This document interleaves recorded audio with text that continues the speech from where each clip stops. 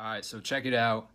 Just got off the phone with Jarren, and it was brought to our attention by some fans on social media that today Cardi B dropped her album and she had a song on there titled Money Bag.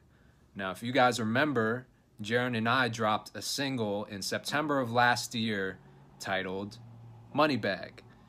Now, when I listened to the song today, I couldn't help but to feel like it sounded strikingly similar to our version. This is our song, September of last year.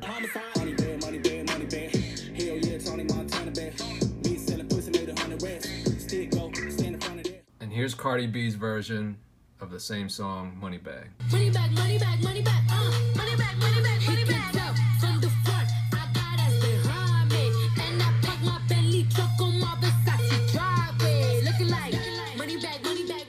So I know this is not the first time in hip hop rap history where two songs have sounded the same, but god damn it, these two songs sound the same.